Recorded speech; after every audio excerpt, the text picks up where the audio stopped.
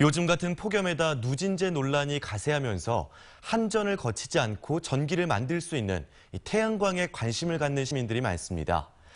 광주시가 가정마다 태양광 발전기 설치비를 지원해주는 태양광 사업을 시행하고 있는데 생각만큼 인기를 끌지 못하고 있습니다. 어떤 사연일까요? 김철원 기자입니다.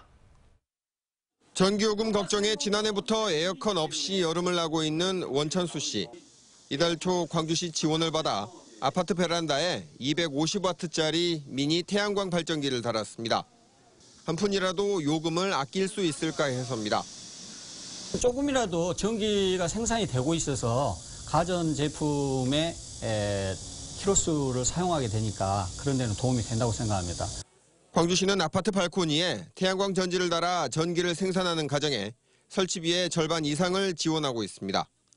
이런 식으로 생산된 전기는 한 달에 20에서 30kW 정도로 김치 냉장고 한 대를 한 달가량 가동할 수 있는 수준입니다.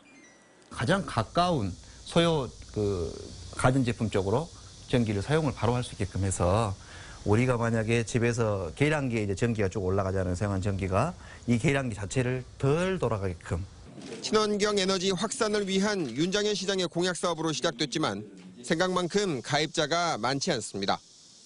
올해 250세대를 목표로 시작했지만 지금까지 설치한 가구는 50세대에 불과합니다. 한 달 내내 돌려 얻은 태양광 전기가 요즘 같은 폭염에는 이틀치 정도밖에 되지 않을 정도로 발전량이 적기 때문입니다.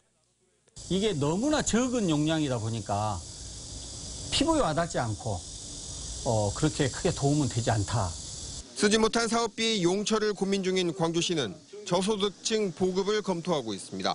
수요가 폭발적으로 늘어난다고 볼 수가 없기 때문에 LH공사라든가 도시공사 이런 기관들하고 협력을 해서 그 저소득층 아파트에 예, 무상 설치해주는 환경도 살리고 가정경제에 실질적 보탬을 준다는 사업 취지를 살리기 위해서는 지원책을 보다 현실화하는 게 필요해 보입니다. MBC 뉴스 김철원입니다.